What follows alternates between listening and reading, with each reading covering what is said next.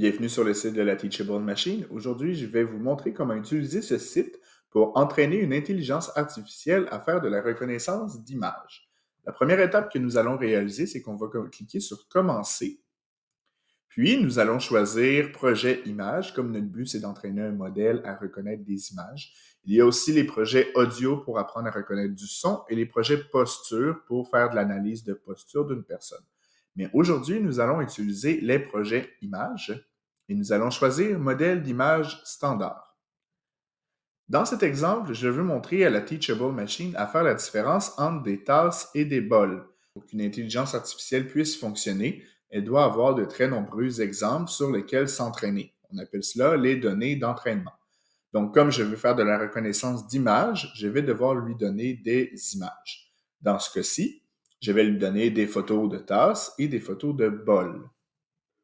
Pour lui donner des photos de tasses, je vais mettre devant la caméra une tasse. Je vais cliquer sur Maintenir pour enregistrer et je vais essayer de lui donner une centaine de photos de cette tasse dans différents angles de vue. Dans le but d'avoir des meilleurs résultats, je vais aussi utiliser une deuxième tasse pour avoir une plus grande variété d'exemples. Donc, je vais utiliser une deuxième tasse et encore une fois, lui donner une centaine d'images.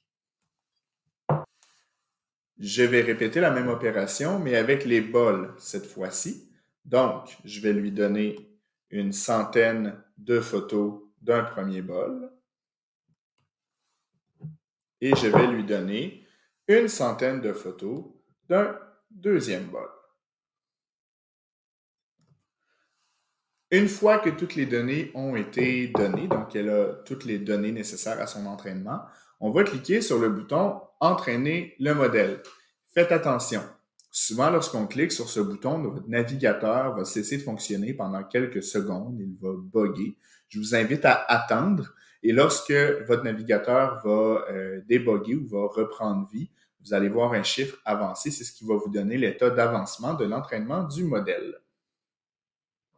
Une fois le modèle entraîné, on peut vérifier si l'intelligence artificielle est capable de faire la reconnaissance d'images de manière efficace. Donc, si par exemple, je mets un bol, il identifie qu'il y a 100% de chances que ce soit un bol.